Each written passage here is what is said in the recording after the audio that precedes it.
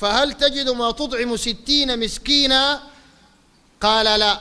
ولما نداه قال له صدق بيه يعني على المساكين. فقام على أفقر منا. يبقى لفظة الفقير تطلق على شنو يا جماعة؟ المسكين. عشان كده اختلفوا العلماء علماء اللغة وعلماء الشرع في التفريق بين المسكين والفقير. والراجح قالوا أن اللفظتين إذا اجتمعتا افترقتا وإذا افترقتا اجتمعتا. زي لفظة الإسلام والإيمان. فإذا قيل مسكين يشمل المسكين والفقير. وشو الرجل ده فاهم كيف؟ جبريل قال له هل تجد ما تطعم ستين مسكينا؟ قال ودول الآن التمر قال على أفقر منا. لأنه يعلم منه لفظة الفقير تطلق على شنو؟ المسكين. فإذا جاءت لفظة فقير في نص براها كده معناته تشمل المسكين والفقير.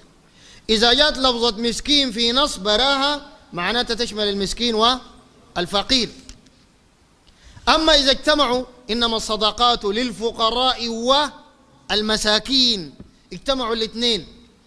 هنا اختلفوا العلماء والأزهر والأشهر والله أعلم كما رجح ابن منظور في لسان العرب ورجح الشيخ الفوزان وغيرهم إن الفقير هو المعدم. أسوأ حالة من الفقير. الفقير أسوأ حالة من شنو؟ المسكين. يعني المسكين أحسن حالة من الفقير.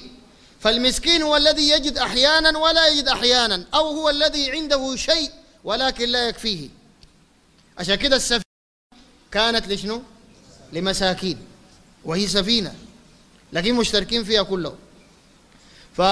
فالمسكين قد يكون عنده شيء لكن ما بكفيه.